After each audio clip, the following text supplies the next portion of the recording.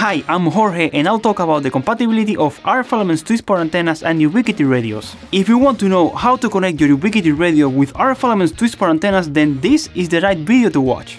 Twistport is RF Elements' proprietary waveguide connector with practically zero signal loss. It has superior mechanics for extremely easy and quick radio installation. If you're interested to know more about the Twistport ecosystem, then check out our Twistport ecosystem intro video here.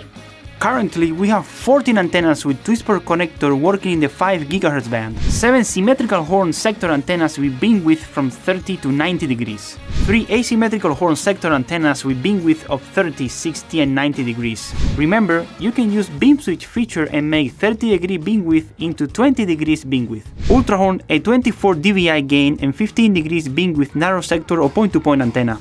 And Ultra series, parabolic dish antennas for point-to-point -point and CPE applications with 21, 24 and 27 dBi of gain.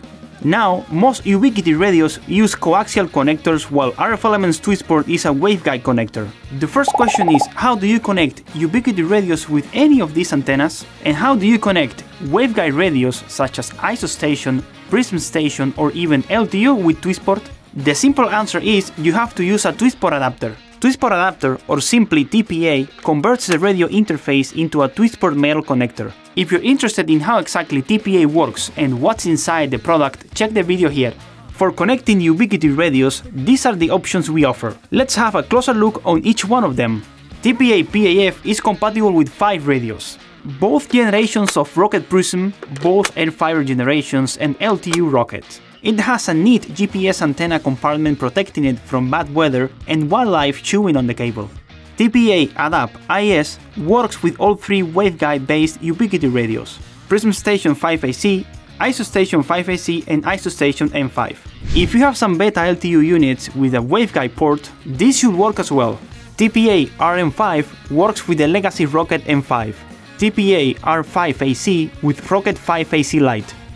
For all legacy products which you can see in the text, we recommend using the TPA SMA, which provides a connectorized interface to be used with pigtails. This is a kind of universal interface, so you have to mount the radio separately from the antenna structure.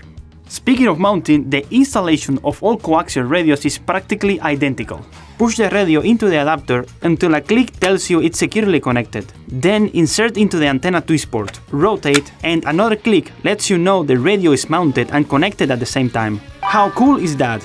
The waveguide radio adapter is composed of two parts easily assembled, converting the radio waveguide to the Twistport waveguide with the same easy installation. Twist, click and you're done. Here is the compatibility matrix once again for your reference. Please note this may evolve with time, and new SKUs coming from each radio manufacturer. For most up-to-date information, click the link to get the compatibility sheet ready for print and sharing if you prefer the hard copy. Thank you and don't forget to subscribe, like and share.